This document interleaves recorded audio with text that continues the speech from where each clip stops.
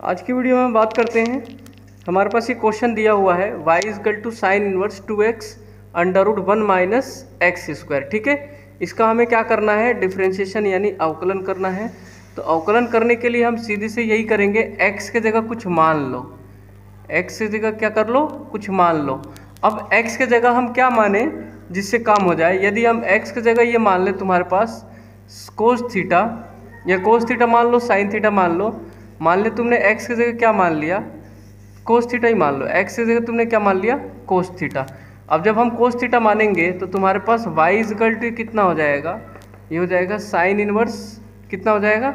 Sign inverse two इस x की जगह कितना रख दो? कोस थीटा और ये रहेगा under root one minus cos square theta हो जाएगा। एक्स की जगह कितना रखोगे? कोस थीटा रखोगे तो हो जाएगा स्क्वायर अब तुम्हें ये पता है कि साइन इनवर्स ये तो ऐसे रहेगा।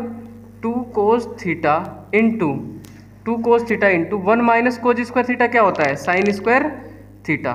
तो हम इसको जगह क्या लिख सकते हैं? ये लिख सकते हैं साइन स्क्वायर थीटा। स्क्वायर से रूट क्या हो जाएगा? खत्म हो जाएगा, क्योंकि one minus cos square theta की वैल्यू कितनी होती है? Sine square theta. स्क्वायर से रूट खत्म। इस स्क्वायर से रूट को हटा दो तो तुम्हारे पास कितना बच जाएगा? Sine inverse two cos theta तो ठीक है इन टू ये कितना रह जाएगा? Sine theta.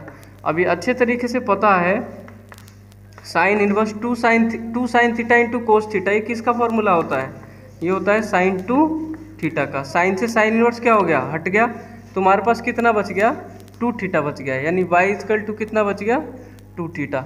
यहाँ से देखो एक्स बराबर तुम्हारे पास क्या था? कोस थीटा था। इसको इधर ले गए। एक्स बराबर तुम्हारे पास क्या था? Cos two theta. Cos theta था सॉरी एक्स बराबर कितना था? कोस थीटा इसको इधर ले गए तो थीटा की वैल्यू तुम्हें कितनी मिल गई? कोज इनवर्स एक्स तो यहाँ रख दो। वाई इजकल टू टू इस थीटा की जगह देखो, यहाँ से रखेंगे, ये इधर जाएगा तो किसका? देखो, ये हम यहाँ से थीटा की वैल्यू निकालेंगे तो इधर जाएगा तो किसका होगा? इनवर्स का. यानी कोज इनवर्स एक्स टू तो ठीक है, अब d y over d x कर दो तो कितना आ जाएगा? कोज इनवर्स एक्स का कितना होता है? Minus one upon under root one minus x square, ठीक है? तो इसको लिख सकते हो minus two upon under root one minus x square. इस तरीके से क्या कर सकते हो? डिफ्रेंशिएशन कर सकते हो। यानी कि तुम्हें पहले एक्स को कुछ मानना पड़ेगा, ठीक है? एक्स की जगह हमने क्या मान लिया? कोस थीटा, साइन थीटा भी मान लो तो भी ये इजीली हो रहा है, ठीक है?